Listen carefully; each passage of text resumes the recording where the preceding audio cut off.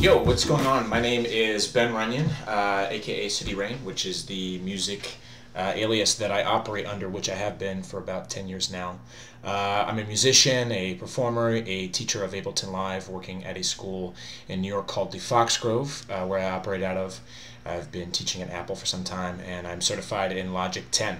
Ableton Live is my uh, main uh, digital audio workstation, the one that I'm most passionate about, which is the tutorial that I'm going to be uh, delivering today.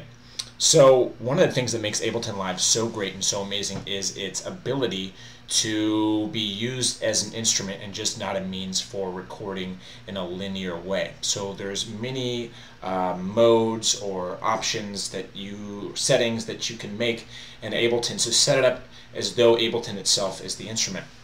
So one of the modes that I want to talk about today is called gate mode. So each one of these little empty squares, or rectangles rather, in an audio channel is where different clips or loops can be dropped, not on like a GarageBand or a, uh, you know, name something on iOS or Android apps uh, where you can drop in loops. And then there's MIDI clips as well that you could drop in. So traditionally speaking, you can, let's say, drop in a drum loop and play and it'll play, and will play until you uh, tell the program to stop recording stop. So that's one way to do things. So I could combine that with another drum loop, right? So I could have that playing and that playing. And that's great and cool. But there's another way that I can input audio where I can kind of play these clips by hand. So I can assign these clips to either a MIDI controller if I have one, or even keys on the keyboard themselves and play them. So it's called gate mode. So if I double click on one of these clips, down here in the bottom left hand corner, there's different launch modes. So I'm going to change the launch mode from trigger, which is the default, clicking to go on, clicking stop to go off, to gate. And I'm going to do it for both of these clips. And the quantization, which means how they're synced up to the tempo of the computer, I'm going to change it from global, which is currently set to 1 bar, to sixteenths. Why am I setting it to sixteenths? I'm setting each one of these to 16th because I want to be able to play them somewhat humanly but have them be synced up uh, and kind of correct some of my timing miscues. So if I hold that down, it's playing. If I let go, it stops playing. So holding down, let go. Holding down, let go. Great, but I want to assign these keys to actual keys on the keyboard. So in the top right up here where it says key, if I click on that, I can well, see, I've already made some designations here, so I'm going to delete these and get rid of them. I can click on a loop, and I'm going to assign it to the F key on the keyboard and this one to the G. So now, if I hold down F, it's playing, or if I hold down G, the other loop's playing. But I still have to hit it somewhat in time. So that was late. Three, four. There we go, synced up. Great, cool, wonderful. So I want to take those drums and I want to combine it with some sort of melodic element. So I'm just going to go under clips here and just search for something real quick. Yeah, yeah.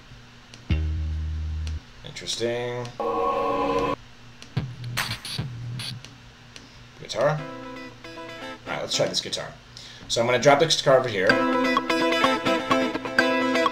panned a little bit to the right, so I'm going to change that panning a little bit center.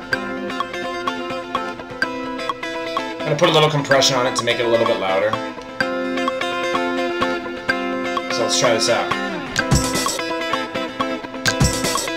Late.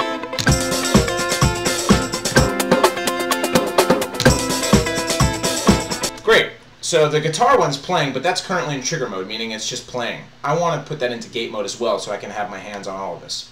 So I want to assign that to the A key. And I'm going to go back to the clip itself and make sure that that one is in gate mode as well and sync to 16th. So let's try this out. A. Let me take this delay off.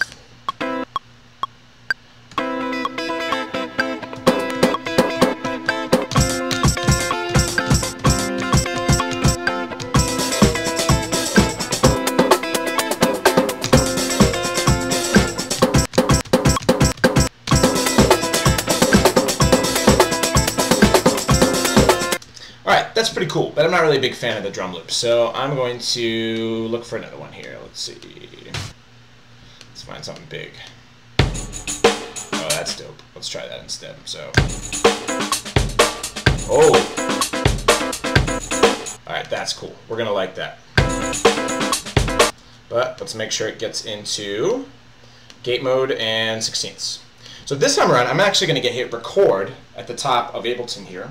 And I'm going to try to record what I'm doing so that later on, this is capturing mode, I can edit and go back and instead of just having drop these in and manually cut these up, I can interact with it in a physical way and later edit so that I'm not stopping the creative process. So I'm going to record up here.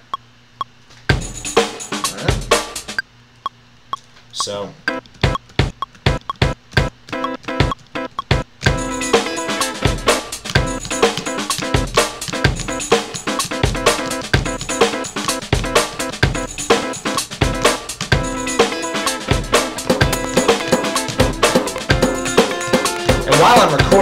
hit tab, I can see that all this is being captured into session view.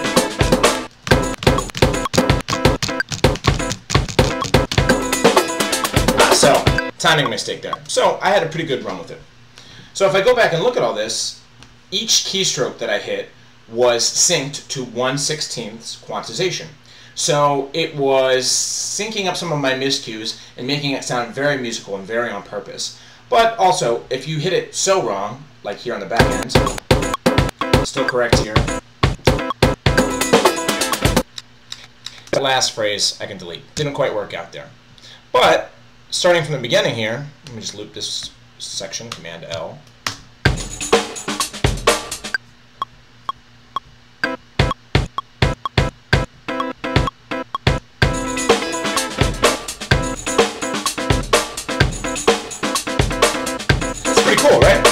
Now that this is all synced up to Ableton's master tempo of currently 127 beats per minute, I can mess around with the tempo, see what sounds cool. Let's try it a little bit slower.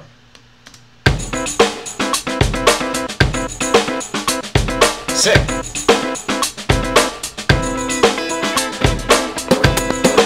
Pretty cool. So that's called Ableton Live's gate mode, and that allows you to assign things to keys or buttons or knobs or sliders on MIDI controllers and allows you to really work with clips in a very organic way instead of just slicing it up, manually chopping things, hitting play, listening back, hitting play, correcting your mistakes.